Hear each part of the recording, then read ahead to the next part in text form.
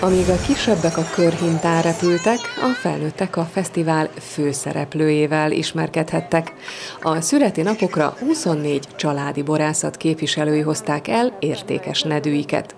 Dorog István Tarcalról érkezett. A termőterületünk az a Tokai hegy, a Tokai hegynek a déli-délnyugati löszös domjain műveljük a szőlőinket. 8 hektár területen gazdálkodunk és próbáljuk bemutatni a Tokai hegy, mint termőterületnek az adottságait. És milyen borra a legbüszkébbek?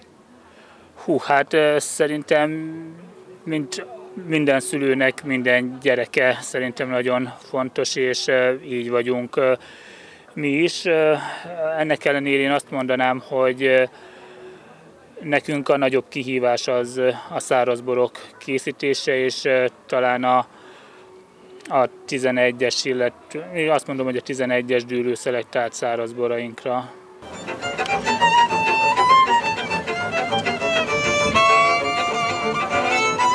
A borászatok kínálják a portékáikat, 23 családi pincészet borászai vannak itt a múzeumban, és akik már ismerik ezeket a borászatokat, akik igazi borkedvelők és tájékozódnak folyamatosan, ők a saját ízlésük és a saját kedvtelésük alapján kóstolnak itt a múzeumban, de aki úgy érzi, hogy egy kis segítséget kérne, vagy 23 pincészet borait nem kóstolná meg, nekik borútvonalakkal készült a múzeum, ahol ízek szerint csoportosítottuk a, a könnyebb borokat, a nehezebb borokat, a köztes borokat, úgyhogy ezeket érdemes kipróbálni, és ez szerint borokat kóstolni, akinek van kedve.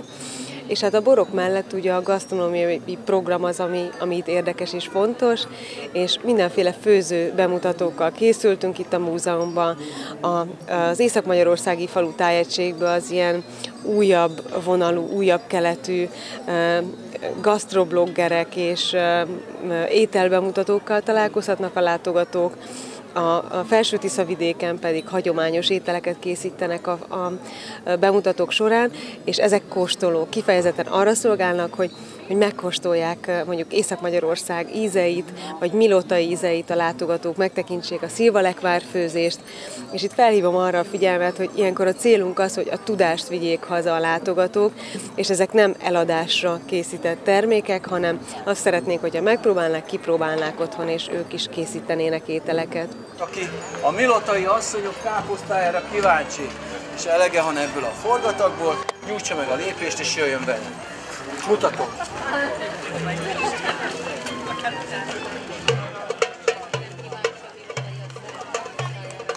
Aki aztán jól lakott a sokféle finomsággal, tanulgathatta a hagyományos népi mesterségek fortéjait is, többek között a hordó készítőit. Magyarországra a mesterség az a 17. század környékére tehető, amikor a német alföldről, ott Csehországon és a Szepeségen keresztül erdőbényé, tehát Tokajhelyajár és ezen belül erdőbényére, most elnézést azért erdőbényéről beszélek, mert onnan jöttem ide.